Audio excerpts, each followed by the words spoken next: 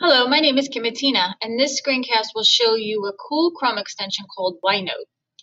And YiNote can be downloaded from the Chrome Web Store. And when you install it, it will appear up here at your top right in your Chrome extensions and your URL bar.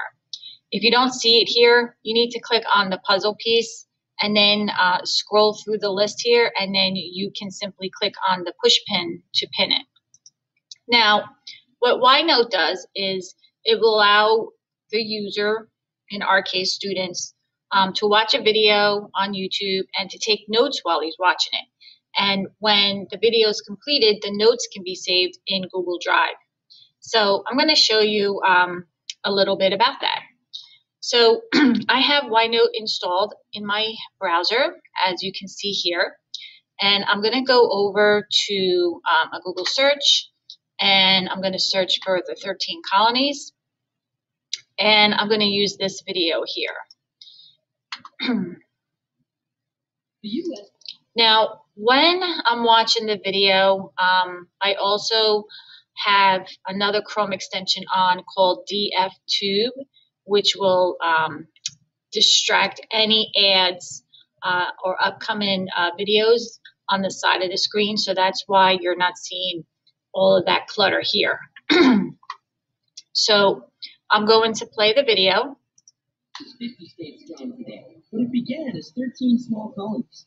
It all started. And what I can do now is click on, I pause the video, and I'm going to click on the Chrome extension, YiNote, and it's asking me here to type a note. Okay, so let's hit play again. A wealthy London businessman asked the British king to set up shop and I'm going to type a note. And you can see here that it says it's a new note, um, nine seconds into the video, and I'm just going to put um, there were 13 colonies.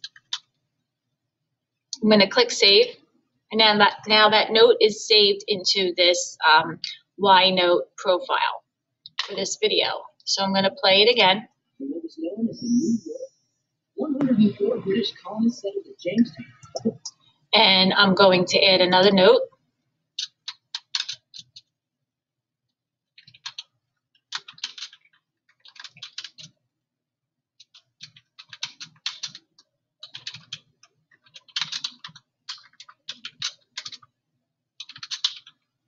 And I'm going to click save.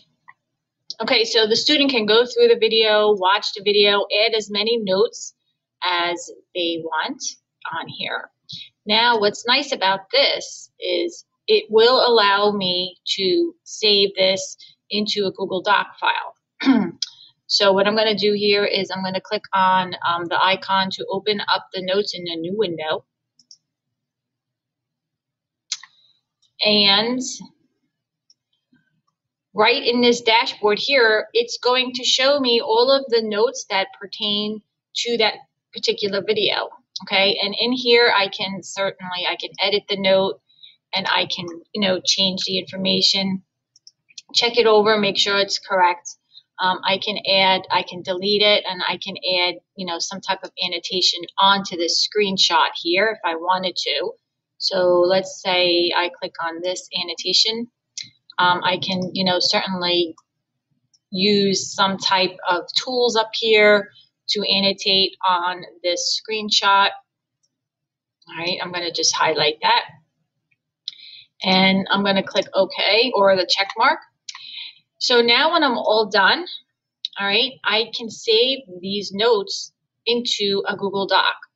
So I'm going to come up here at the top of the toolbar here and click on this icon. It says send notes to Google Docs. And when it does that, when I do that, it's going to create a new Google Doc with your notes and links to the screenshots. So let me show you what it does. I'm going to go into my Google Drive. and YiNote creates a folder in your Drive. And you can see here that there's two Google Docs, okay? One was for the video that I just showed you and one was for a previous video. And it provides the Google Doc with the name of the video so it's easily identifiable.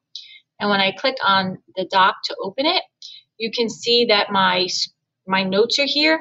And then these, um, these are hyperlinks here. So when they're in the blue, they're hyperlinked and it's going to allow the student to look at that screenshot and see what he was, what the student was referring to during the time he was taking notes. So I think this is a really great tool to um, allow students to use. Uh, and you can see also in this screenshot, it saves my annotations. So it gives this, the opportunity for the students to uh, watch the video, pause the video, take notes right within the same screen, and then annotate on it and save it in Drive. Like how much more convenient can that be? So I really hope you find this Chrome extension helpful and that you share it with your students. All right, take care. Bye.